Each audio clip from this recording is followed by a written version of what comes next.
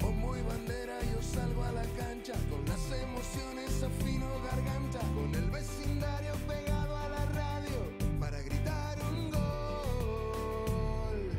Grítalo, desde la radio vamos grítalo, el fútbol de primera grita gol, hasta que explota el corazón. Hola, hola, saludos, bienvenidos a una nueva edición de Fútbol de Primera, la radio de la Copa América 2024, a la vuelta de la esquina. Está el gran evento futbolístico del año en esta parte del mundo, la Copa América que usted vivirá en exclusiva solo por Fútbol de Primera. Aquí estamos con la dirección de Andrés Canto, Rosa Beatriz Sánchez, Jaime Gallardo, Daniel Chapela, Claudio Gutiérrez al mando de la nave. Hoy es viernes, Rosa. Y el cuerpo lo sabe. Muy bien. Esa. Ahí está. Va mejorando la música. ¿eh? Va mejorando. No es la dimensión latina Muy que está este fin de vamos año en. Miami, pero mañana está la dimensión Mañana latina. en Weston, sí, señor. sí, señor. En Westonzuela, sí, señor. Saludos a los amigos que nos escuchan en nuestra estación afiliada Actualidad 1040. Un abrazo para ellos. Bueno, terminó la semana rosa de Champions, de Europa League, de Conference League, de las tazas, Libertadores y Sudamericana respectivamente. Hay que cambiar el chip y nos metemos a la recta final del torneo clausura del fútbol mexicano, fecha 15 que comienza esta noche. Hoy es día de Quinielo, día de Penca, y además con lindos partidos en este fin de semana. ¿Cómo estás? Hola Sami, ¿cómo están todos? Eh, sí, la verdad es que fue una semana muy intensa, con muchos buenos partidos eh, y con mucha tela para cortar. Pero eh, básicamente yo me preguntaba, hablando del tema del fútbol mexicano, eh, que bueno, uno de los partidos que se destaca en esto, hay dos partidos importantes, básicamente el eh, América Toluca, claramente es uno de ellos. En realidad, yo diría que los tres partidos del sábado son interesantes, porque Pachuca Guadalajara también es un ¿Cómo partido no? que es digno de verse claramente. Eh, ya nos enteramos que Chicharito está otra vez lesionado, después Ah. Jaime seguramente nos va a contar los detalles, Eh, pero decía, y América Toluca y sin duda el clásico regiomontano entre Monterrey y Tigres, y yo me preguntaba que por ahí lo podemos debatir si quieren después eh, o intercambiar sensaciones. ¿Quién de los dos llega mejor a este partido? Si Mont- o sea, los dos van a llegar un poco cansados por la por eh, in- eh, el trajín que tuvieron de los partidos de mitad de semana, pero bueno, Monterrey llega motivado eh, por la porque ganó, por la manera en que le ganó al Inter de Miami, porque pasó eh, de ronda y los Tigres llegan desmotivados porque quedaron eliminados. Entonces, ¿qué puede pasar en este partido? Eh, ¿A quién de los dos le va a afectar?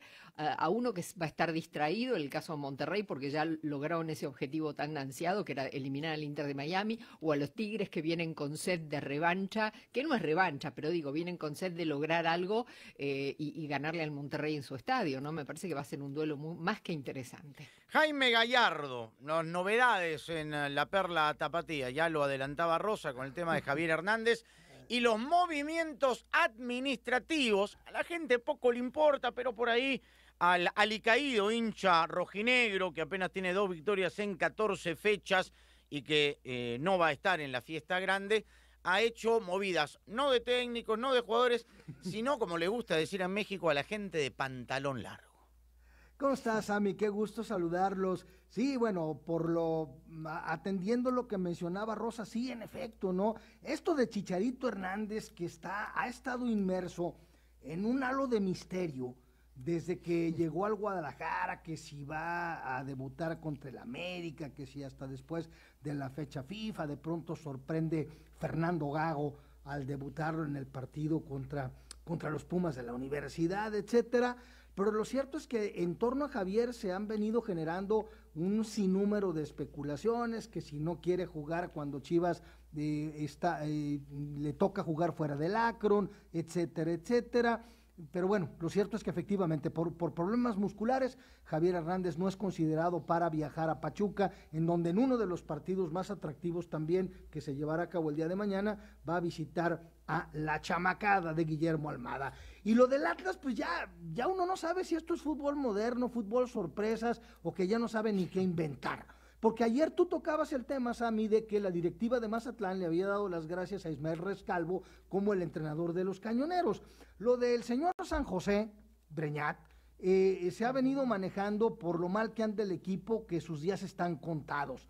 Pero resulta que no había nadie que despidiera al técnico español, porque el presidente, bueno, hasta ayer presidente del Atlas, José Riestra, recibió el encargo de Alejandro Aragorri, presidente de Grupo Orlegui, que se fuera a Gijón para atender los problemas del Sporting de la segunda división de España. Entonces dejaron al, Atlas al garete y de pronto ayer sorprenden con la decisión de confirmar a José Riestra como encargado de todo, de todo el fútbol de Grupo Orlegui y nombran como presidente de los rojinegros de el Atlas a el señor Germán, eh, eh.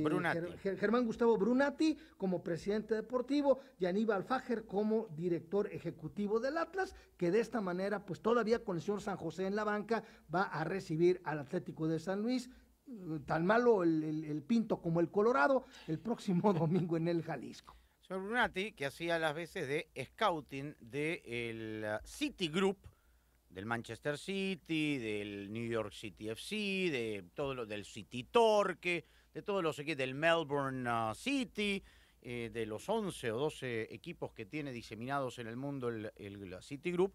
Brunati en Latinoamérica, en Sudamérica, era el visor y el que recomendaba eh, jugadores. Hoy, ahora, estará, por supuesto, en el equipo del Atlas y suponemos dónde van a parar esos jugadores.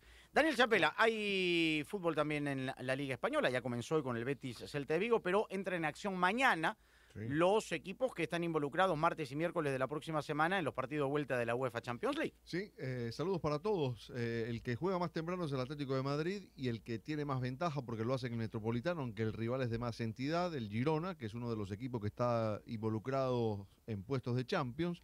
Pero después, tanto Madrid como Barcelona tienen que jugar afuera. El Madrid en la cancha del Mallorca del Vasco Aguirre, que viene de sufrir ese golpe de la pérdida de la Copa del Rey, pero que siempre es un rival complicado, especialmente en estos partidos entre jornadas de Champions que son tan incómodos para los equipos grandes y el Barcelona va a la cancha del Cádiz. Creo que en situaciones diferentes, ¿no? Me parece que el Madrid tiene un poquito más de manga ancha para jugar con los puntos, tiene ocho de ventaja sobre el Barça y el Barça necesita que la distancia no se le amplíe antes de jugar el clásico, que por cierto lo va a hacer con una camiseta muy especial. Sí, señor, Ay, de Carol sí. Fútbol Moderno. O sea, Carol G que hoy día se presenta en Lima, dicho sea de paso. Sí. Las colas están desde hoy estamos viernes, desde el miércoles en la noche hay eh, jóvenes que están haciendo co- que están acampando alrededor del estadio de la Universidad Mayor de San Marcos para ver a Carol G.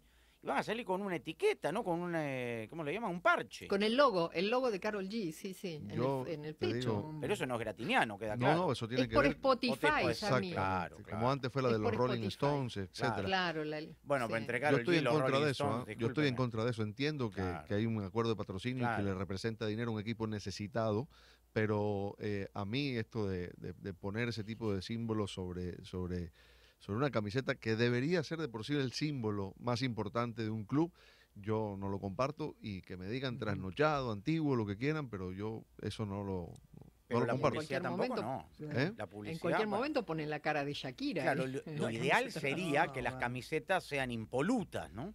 Claro. Limpias. No, yo Sí, entiendo como era antes. Entiendo como que- era antes. Pero un sí. corazoncito con el nombre de Carol G, No, no. la lengua de los Rolling Stones. Bueno, la lengua va y pa, digamos, con, con el respeto que nos merece Carol G, Porque ¿no? sí, digamos, los Rollingas son más, entre son los más Rolling Stones, sí, hinchada, sí, claro, sí, es sí. como más respeto. Bueno, identificados con los mm, futboleros. Eh, Recordemos que en el uniforme de Mazatlán está el logotipo de la banda del Recodo porque esta agrupación musical le mete lana Claro, al equipo del socios, Sol Salinas claro. Pliego. Y bueno, claro, son ahí, pues, pero, pero ya llega un momento en que las son eh, publicidad con camiseta. O sea, la mayoría son. Sí, la, la, la otrora sección amarilla, ¿no? Tal cual. Parecen las páginas amarillas, en serio. Menos mal Sí, que las sí, selecciones nacionales todavía están cubiertas de eso, ¿no? Al menos la- la- las Sí. camisetas de jugar los partidos. Ya ni los árbitros, porque también los árbitros Sí, tienen sí, no solamente Sí. las marcas, sino. Y hasta los boxeadores, mira cómo cambió el boxeo. Los boxeadores también tienen incluso con pintado en lo- en- no, no los eh, tatuajes, sino se pintan eh, algunos sponsors en algunas peleas, ¿no? Como con corcho quemado, ¿viste? Como en Halloween uno Sí, se ponía sí. Corcho quemado.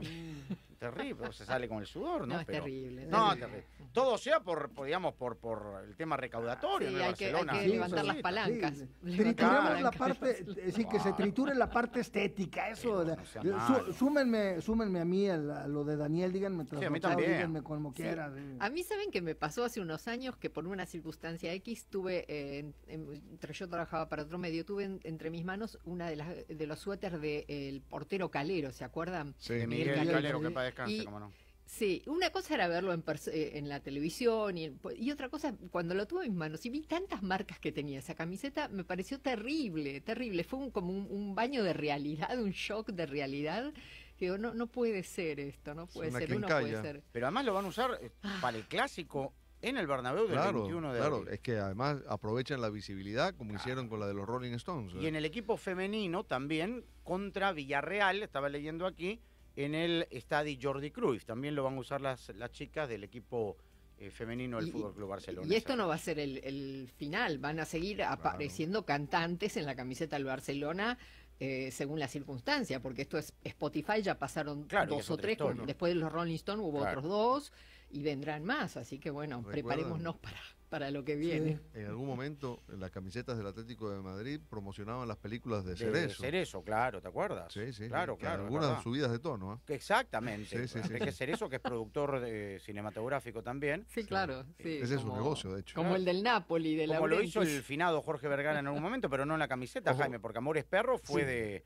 Eh, y Rudy Cursi fue producida o, digamos, invertida también por el eh, extinto presidente. Cerezo no es cineasta, ¿eh? se queda grande Sí. eso. No, bueno, Digo, pero es productor, que- pero está, está sobre todo invitado en los Goya. Distribuidor. No, no, Pero siempre está Sí, invitado en los Goya, claro, a estar, es un ahí. empresario del cine. Claro, total. Y- total. Y, y si Jorge, y si Jorge Vergara hacía eso, olvídate, porque si Amauri lo hace, Amauri tiene una vena mucho más de cineasta que lo que tenía su padre. De acuerdo, tal cual.